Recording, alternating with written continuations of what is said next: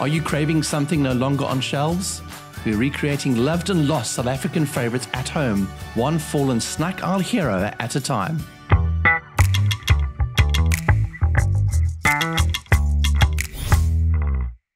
I'm, I'm more of a Bar One goal. In this pan we've got glucose, sugar and water and then we need gelatin, some more glucose, vanilla essence or extract and then we have got chocolate and of course wafer biscuits. Okay, this is the gelatine. We just put it in the microwave for 30 seconds just to get it nice and liquid and then that is going into the Kenwood and in we go with the glucose. Today we are doing an egg-free marshmallow because that lasts longer and just because if you read the ingredients on Chocolate Log there aren't eggs in there. Just beat this slowly while our sugar comes to temperature. So a little sugar tip for you to get the perfect sugar syrup. Before you crank up the heat too much, you just want to make sure that every crystal of sugar has dissolved. We're going to crank up the heat and we are going to boil it to between 112 and 116 and then we are going to take it over to the gelatin mixture.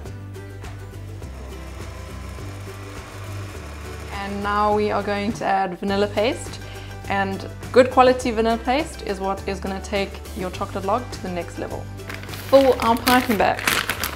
This is the part where you want to go fast because as you can see it's going to start setting quite fast gets real sticky around here.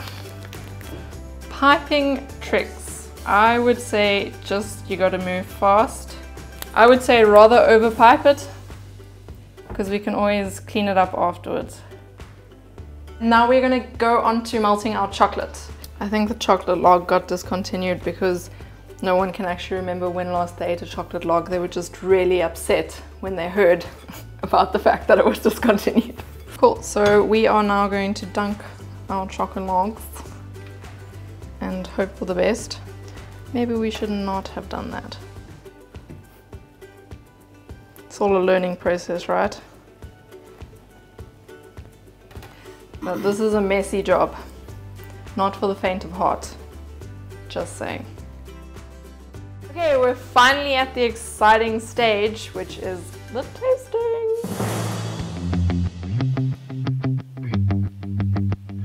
Oh, that uh, wafer's a little tough there.